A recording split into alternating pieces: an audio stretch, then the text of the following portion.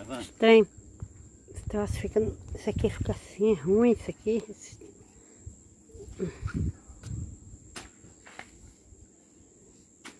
Vai, desliga de novo.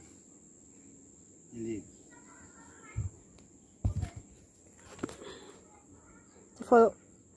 Desliga por, por aqui? Por coisa aqui?